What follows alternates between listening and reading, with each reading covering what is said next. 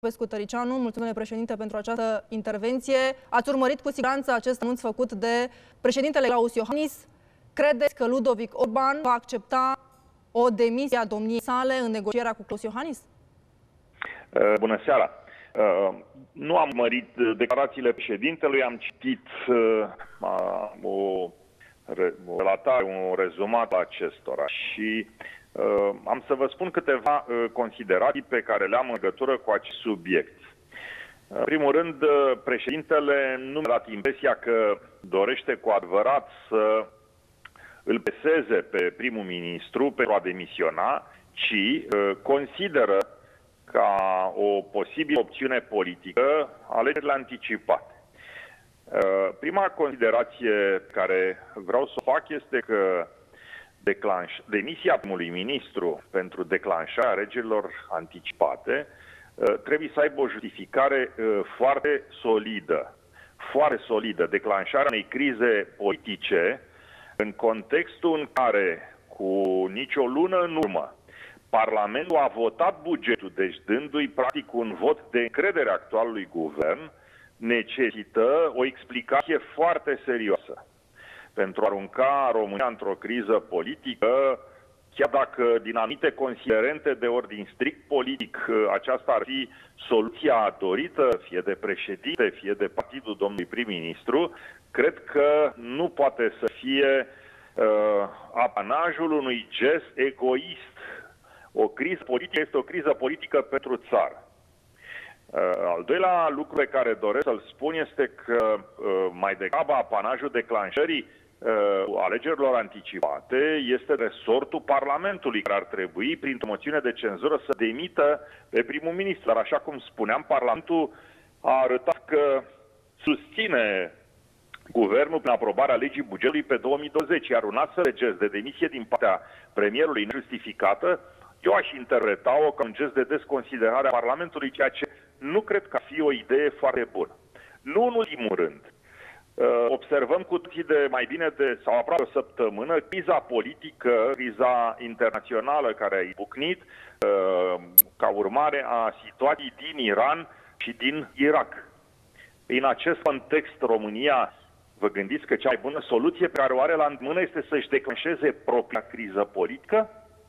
Când cu toții suntem îngrijorați de posibilele consecințe ale crizei din Orientul Mijlociu, aceste considerații cred că ar trebui avute în vedere de toți cei care sunt responsabili politici în, acest, în acest moment în România și dacă au sentimentul unei minime responsabilități față de această țară, cred că ar trebui, sigur, să analizeze cu foarte multă grijă dincolo, așa cum spuneam, de anumite interese politice de partid sau, de, sau electorale.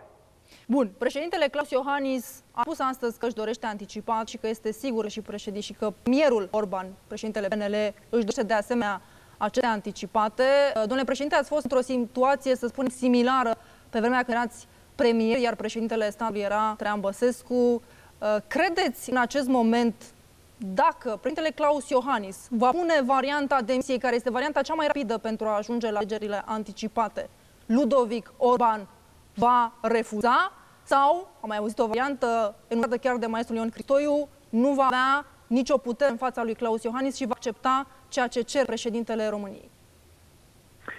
Uh, da, uh, să știți că există asemănări, nu este o similaritate între cele două situații. Există asemănări, fără doar și poate, dar încolo de asta, uh, Claus Iohannis nu este Traian Băsescu și foarte bine că nu e Traian Băsescu și nici Ludovic Orban nu e Călin Popescu Tăricianu. Fiecare Uh, am avut la vremea respectivă anumite considerente pe care le-am avut în vedere. Uh, situația politică este cu totul diferită în momentul de față. Eu cred că și președintele și primul ministru vor reflecta foarte serios, foarte profund la această uh, soluție și la consecințele ei, bineînțeles. Și, așa cum spuneam, eu nu văd în momentul de față vreun motiv politic solid care să justifice, să poată justifica în, în, în ochii cetățenilor, ai opiniei publice, o astfel de decizie. V-ați lămurit, domnule președinte, de ce această dorință azătoare a președintelui Claus Iohannis de a organiza aceste anticipate? Totuși, nu există o perioadă foarte mare între momentul organizării anticipatelor și momentul organizării alegerilor la termen.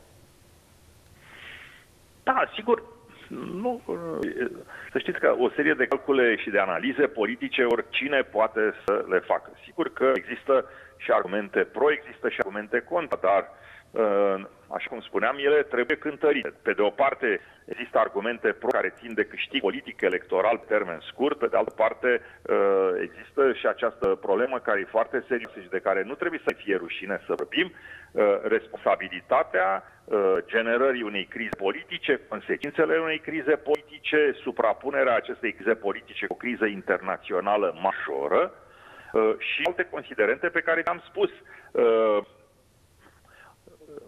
atitudinea Parlamentului, care nu a fost până în prezent una uh, de ostilitate care să uh, justifice într-un fel o astfel de acțiune prin uh, blocarea acțiunilor guvernului. Da?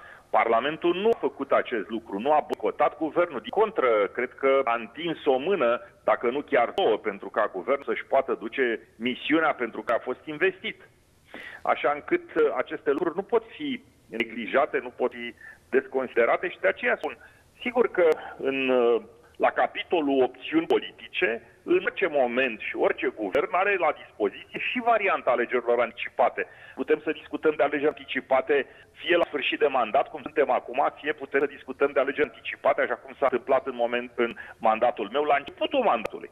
Și cred că ar fi fost în 2005 un lucru greu justificat în fața opiniei publice de ce facem alegeri anticipate la șase luni de la alegerile precedente.